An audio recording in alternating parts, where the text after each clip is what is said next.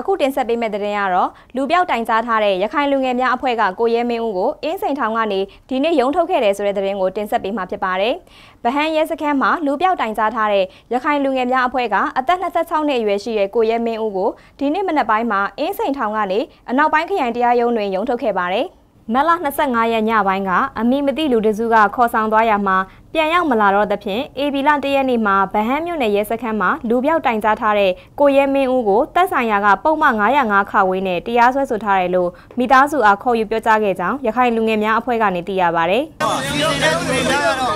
မကွေးဆရာတော်ဥပမောက္ခနဲ့ချွေညဝါဆရာတော်ကြီးမစိုးရိမ်တိုက်တဲ့နာကဆရာတော်ဝိစိတ်တာပြဝင်တာ နဲ့ကိုချောက်ကိုဆရာတော်များဖြစ်တဲ့အရှင်ဦးတတမနဲ့ဦးရှင်မဝိပလာပြဝင်တာဒေါက်တာအာသဘတို့ပါဝင်တို့တွေစီဆက်ပါတယ်ဒီဆရာတော်တွေပါတို့ဟိုနေမန်းကစားပြောတာဆိုတာတွေရှိပါတယ်ရွှေညဝါဆရာတော်ဆိုလို့ကြည့်။ကောင်းလားပါ။ကောင်းလားပါ။တွေးဆောင်ဆွေးနွေးတယ်ဆရာတော်ထားလိုက်တာပါ။ကိုရဲမင်းဦးဟာအင်းစိန်ထောင်ကအဆောင်ငါးတိုက်မှာရှိနေကြောင်းနဲ့သူ့ကို669အဖွဲ့မှနောက်ကနေကြိုးကင်နေဆိုပြီးအဖမ်းခံရတာဖြစ်ကြောင်းပြောကြားခဲ့တယ်လို့ကိုရဲမင်းဦးရဲ့ညီဖြစ်သူကိုရဲမင်းအောင်ကပြောကြားခဲ့ပါတယ်။